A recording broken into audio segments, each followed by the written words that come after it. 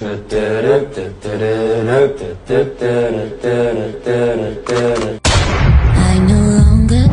product Amazon पे आपको 5,700 का मिल रहा है और सेम प्रोडक्ट इंडिया मार्ट पे आपको मिल रहा है 1,099 का तो आपको यहाँ से उठाना है अमेजोन पे बेचना है